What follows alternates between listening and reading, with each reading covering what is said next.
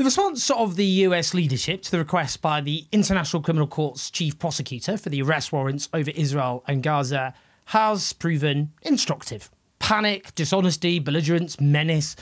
The stuff, in other words, of a flailing superpower, which has spent the 21st century apparently unaware that it's in a death spiral when it comes to its own global dominance, overwhelmingly because of the catastrophic decisions that it has made.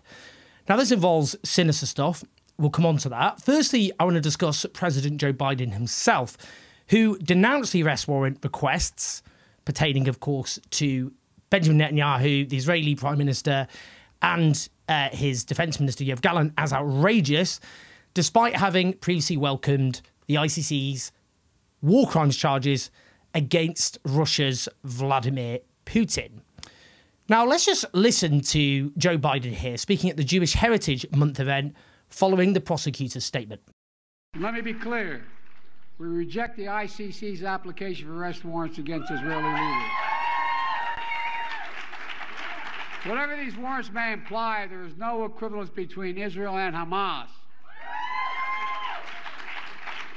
And it's clear Israel wants to all, do all it can to ensure civilian protection. But let me be clear. Contrary to allegations against Israel made by the International Court of Justice, What's happening is not genocide. We reject that. We will always stand with Israel and, the threats against its security. Compounding the pain and the vicious surge of anti Semitism around the world, here in America as well. Well, firstly, I do think it's important to focus on the substance, but you can't listen to that and conclude there's a man who's on the ball. I mean, come on, let's just be serious about this. In any case, other than rejecting the warrants, he firstly promotes a recurring claim lodged against the prosecutor of an implied equivalence between Israel and Hamas. Now, first of all, before we rebut that on legal grounds, Benjamin Netanyahu himself, when he was denouncing the ICC decision, argued in his defense that he was democratically elected. So what? What's the relevance? I mean, first of all, Israel has power, despotic power over millions of Palestinians who don't have any say over their future or indeed who's in charge of the power occupying them, at the moment Benjamin Netanyahu. So claims about democracy there need to be refuted. The power over them exercised by Israel is a despotism in practice.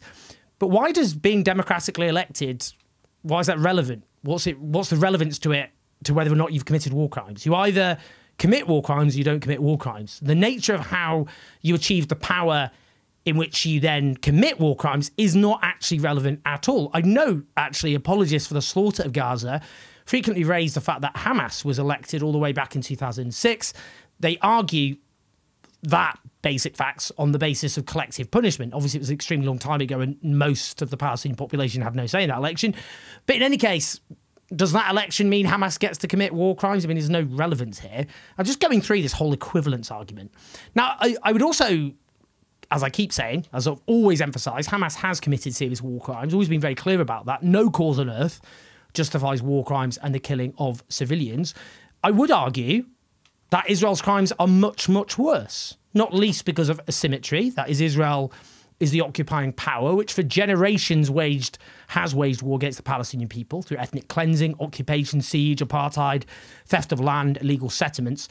And by definition, the war crimes committed by Israel since 7th October are much worse than the, yes, terrible crimes, by the way, committed on that day. Obviously, far more slaughter and starvation, as well as terrible specific additional crimes of starvation. We could go on. Now, the angle they're going, they're coming from is how dare you suggest Israel is as bad as Hamas? This is a recurring objection. Germany's also said the same thing. But that isn't what's suggested here at all. The proposed warrants aren't about equivalence. It's not about comparing the two.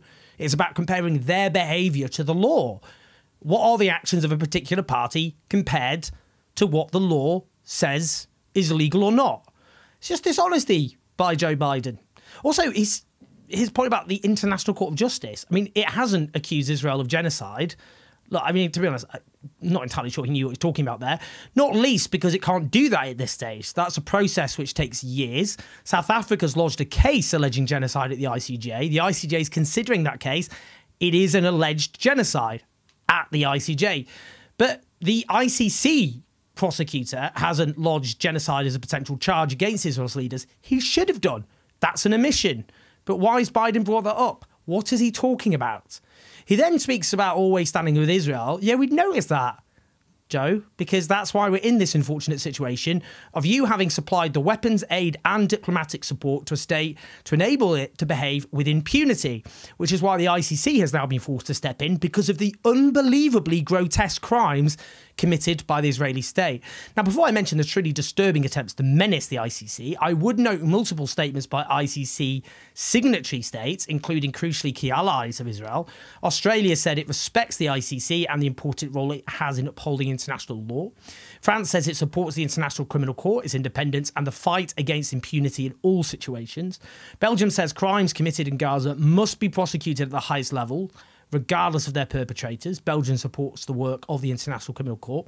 Even Germany, Israel's main European defender, has come out and refused to throw the ICC under a bus, despite a mealy mouthed statement, which again goes on about equivalence. The UK government, on the other hand, just churned out a load of crap, but the US is behaving like a rogue state here. The US and the UK um, have defied the international consensus, and that needs to be made clear. Now, let's just talk about just sinister stuff. Earlier this month, the new brilliant media outlet Zeteo, which I'm involved with, revealed that a key Republican that key Republican senators had sent a letter to the ICC chief prosecutor Karim Khan warning him not to issue international arrest warrants, threatening severe sanctions if they did so. That included the likes of Tom Cotton of Arkansas, Florida's Marco Rubio, and Ted Cruz of Texas. They say, target Israel and we will target you, adding they will sanction your employees and associates and bar you and your family from the United States. Rather ominously, the letter concludes, You have been warned. Now, let's be clear, this is how gangsters behave and clearly declining empires.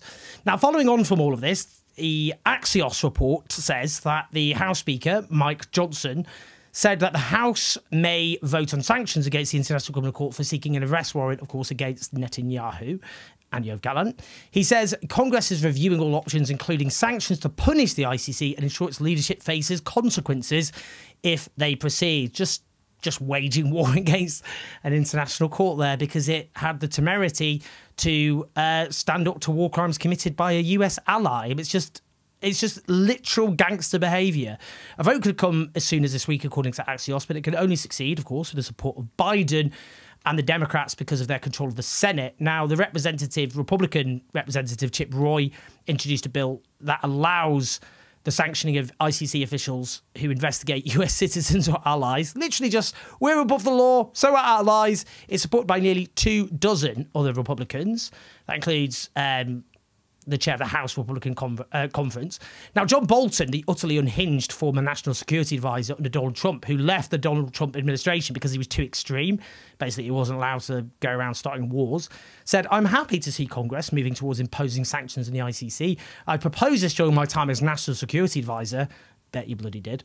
We must dish out consequences on the ICC if it's going to come after the US and our allies, i.e., we can behave as we wish, and so can our allies all tremendously illegal, by the way, as Article 70 of the Rome Statute makes clear um, about offences against the administration of justice. The court shall have jurisdiction over the following offences against the administration of justice when committed intentionally. That's including impeding, intimidating, or corruptly influencing an official of the court for the purpose of forcing or not or persuading the official not to perform or to perform improperly his or her duties retaliating against an official of the court prohibited on account of duties performed by that or another official.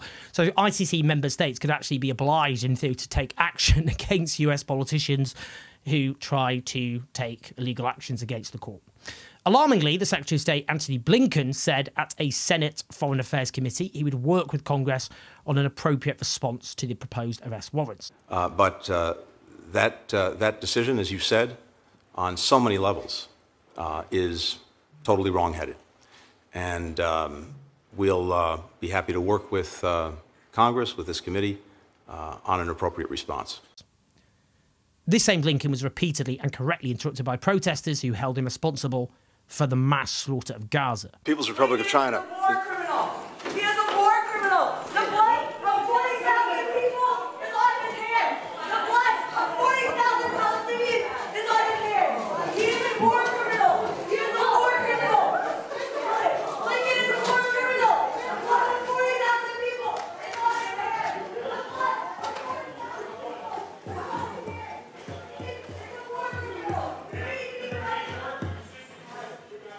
Those protesters raised the example of Hind Rajab. She was a six year old Palestinian girl slaughtered after trying to get help from the Palestine Red Crescent after her entire family was butchered by the Israeli military in a car. That is, all her relatives in that car before ambulance was sent and then itself blown up by the Israeli military. The paramedics killed and then Hind killed too. Pursuing Rajab military- was six years old when Israelis killed her. Hind Rajab was six years old. Blinken, you will be remembered as the butcher of Gaza. You will be remembered for murdering innocent Palestinians. Well, indeed. And here really are some crucial points. The US know it's implicated by definition in these terrible crimes. It supplied the arms, the weapons, and the aid and the diplomatic support without which Israel could not have committed these heinous crimes for which its leaders now finally face being held to account for. This whole process will expose those crimes, and indeed, public opinion in the US has already drastically shifted against Israel and US complicity, with more Americans than not now believing Israel is committing genocide. This is another calamitous blow to US power, and they know it, but this will only make it worse for them. The ICC case will now be used to build pressure to end the West's criminal complicity in the grave horrors inflicted against the Palestinian people. And this lashing out is simply causing them more damage. And deep down, both Israel and its allies know it. That's why they're panicking. That's why they're lashing out. Please like and subscribe. Do leave your comments. Do share. I'd love to hear your thoughts. Help us take on the Pro One Media. Patreon.com forward slash owenjones84. I'll speak to you soon.